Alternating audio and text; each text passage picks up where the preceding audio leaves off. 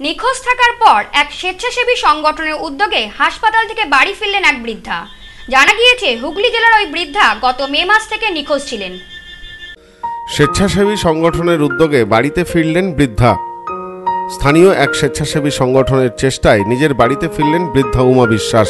শনিবার বনগা হাসপাতালে ছেলে কৃষ্ণপদ বিশ্বাসের হাতে মাকে তুলে দিল অনন্ত দৃষ্টি ফাউন্ডেশনের সদস্যরা।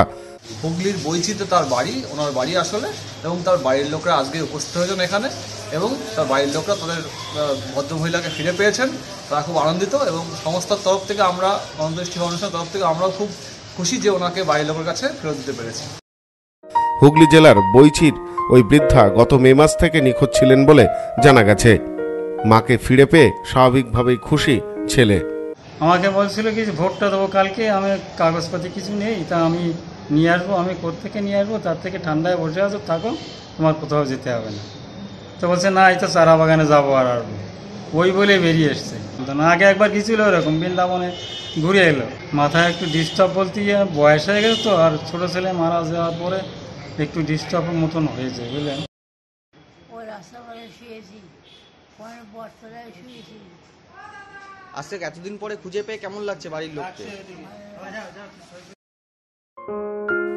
Bureau report, news no man's land Bangaon.